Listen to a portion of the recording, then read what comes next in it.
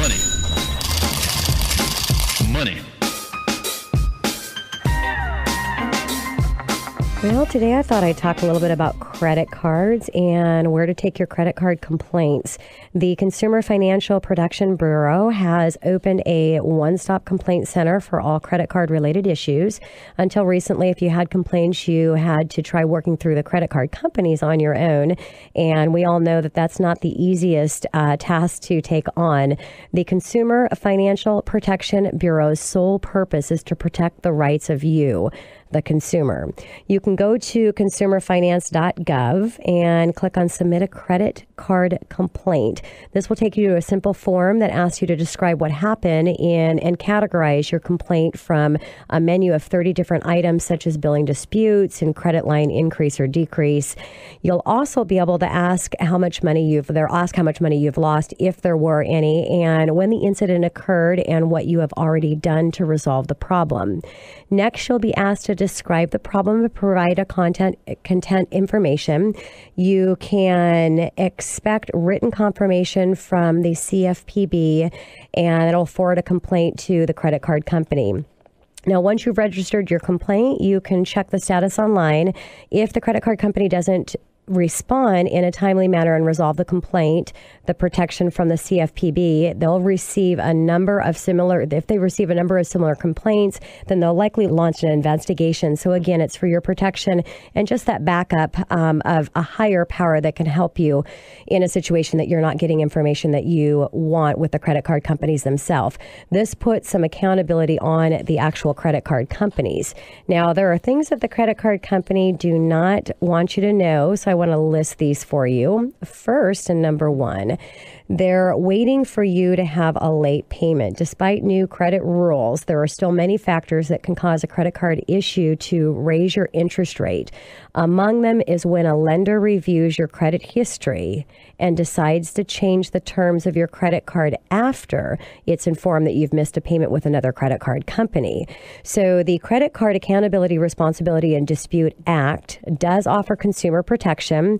Should your credit card company change the terms on your credit card in most cases, they can only do this per, on purchases moving forward, not the balances that you already have. Again, that's on most situations.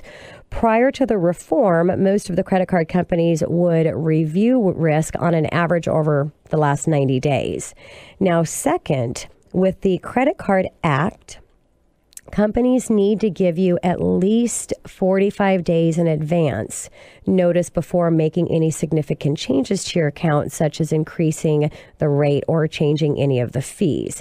Now, if your credit card company is going to make changes on the term of your card, they must give you the option to cancel the card before the changes take effect.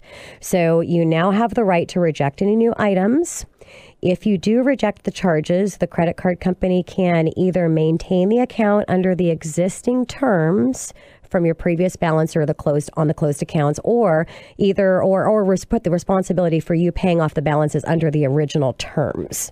Now, the third thing the credit card companies don't want you to know is companies can't increase the interest rate for the first 12 months with some exceptions. Again, there's exceptions to every rule, but such as your adjustable rate, or if there's an introductory rate that has more than 60 days late. So then that would be an, an exception to that rule. Otherwise, they've got 12 months before that can be increased. Now, four, there are restrictions on over the limit transactions. You must opt in, allowing transactions to take you over your limit. So if you don't and they allow your transaction to go through, then the charge that you actually receive, you can dispute that charge. And last, there are caps on credit cards. If your credit card company requires you to pay fees such as an annual fee or an application fees, the fees cannot total more than 25% of the original credit limit. So for an example, if your initial credit limit is 500, the fees for the first year can't exceed $125. So there's tips on everything. That's why I love doing this show so much and why it's called the Money Hour because there's a lot of aspects when it comes to your money.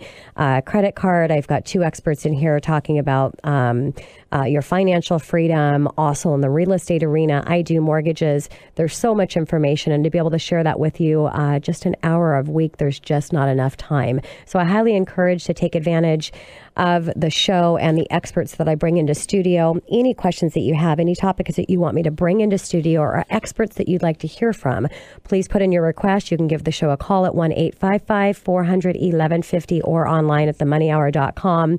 And going online, you can actually search for anything that you're interested in getting information on the years that I've done the show. Most likely, I've probably had that conversation in studio. So we do uh, stream and podcast all of our uh, all of our shows. And just a shout out, being that, again, I do mortgages for a living, the interest rates were at all time low. If you look at the history of the interest rates for the last two years, we've hit an all time low. Why this keeps happening, all experts, including myself, can't give you an answer. I mean, it's just crazy in what's happening with these interest rates. Take advantage of the market.